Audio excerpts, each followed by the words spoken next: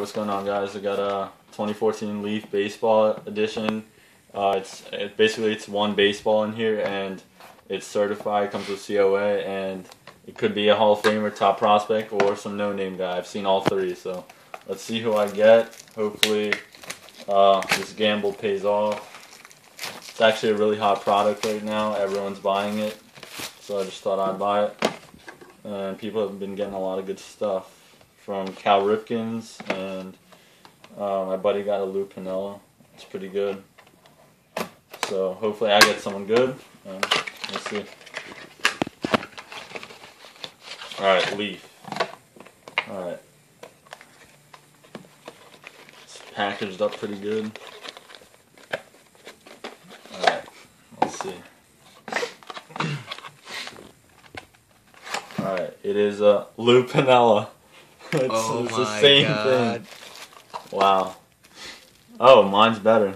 Because I have a different inscription 77, 78 World Series champs. And there's parentheses, or Mine's uh, There's- Rookie of Year, Yeah. 69. I think this one's better because it's a full sig.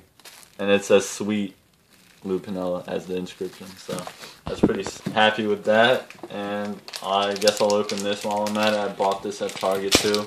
And if you guys are wondering where to buy those balls, Target, that's where you get them for 40 bucks. So see what I get in these pack in this pack I ordered. See if there's anything special. Uh, we got an insert of Michael Cuddyer, Chris Johnson, Freeman, and Freddie Freeman, batting average leaders. Uh, rookie card of Billy Hamilton, Adrian Beltre gold. Uh, a bunch of rookie cards, guys I've never heard of. Uh, that's what this product is mainly consisted of. Uh, a lot of rookie cards. And next one.